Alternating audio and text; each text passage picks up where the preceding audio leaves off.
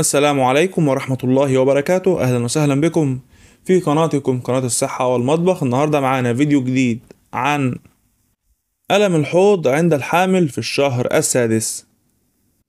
ما هي أسباب آلام الحوض عند الحامل في الشهر السادس؟ إن آلام الحوض عند الحامل في الشهر السادس هي أمر شائع الحدوث. فبعد هذه المدة تتمدد الأربطة وتتغير مستويات الهرمونات وتتحرك الأعضاء لإفساح المجال للرحم المتنامي. لكن في بعض الأحيان قد يكون الألم علامة حمراء على أن شيئا أكثر خطورة قد يحدث. فما هي أسباب آلام الحوض عند الحامل في الشهر الثامن؟ واحد ارتفاق العانة. ترتفع مستويات هرمون الإستروجين والبروجسترون والريلاكسين. الذي يساعد الأربطة على التمدد أثناء الولادة.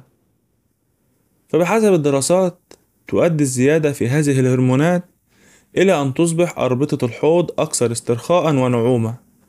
وتبدأ المفاصل في أن تصبح أكثر قدرة على الحركة. وقد يصبح المفصل الموجود أمام الحوض والذي يسمى ارتفاق العانة ممتدا وغير مستقر بشكل خاص مما يؤدي إلى الشعور بألم في منطقة الحوض أثناء الحمل. اتنين توسع الرحم.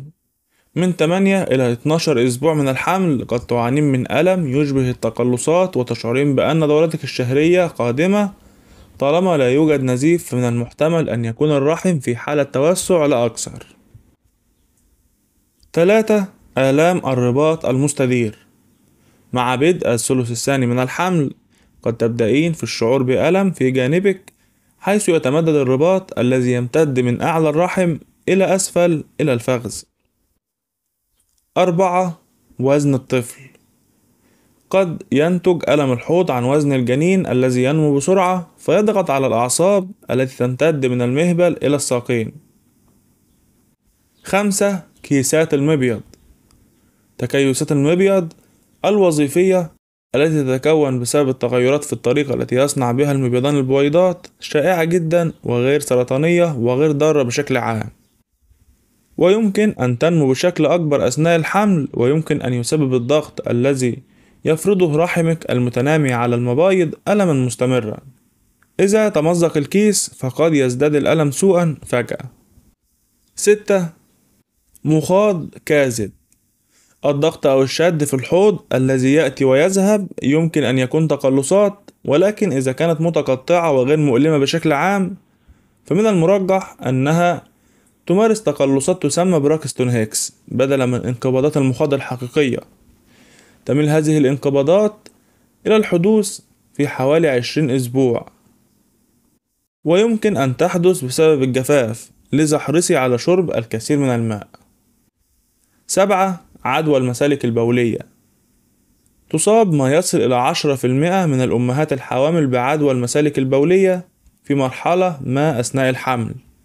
تشمل الأعراض النموذجية الرغبة المفاجئة في التبول والألم أو الحرقة مع التبول والتبول الدموي.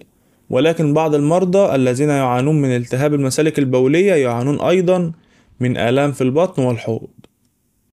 8 الإمساك.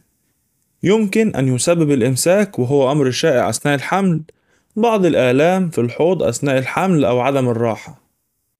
ثانيا علاج آلام الحوض أثناء الحمل. من المهم أن تفعلي كل ما في وسعك للمساعدة في توفير الراحة عندما تعانين من آلام الحوض.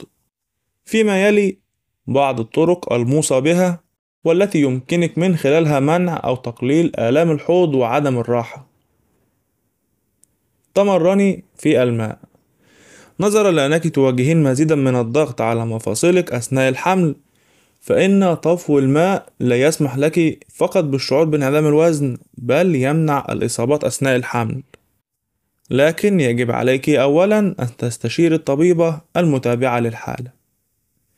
اتنين مارس الرياضة.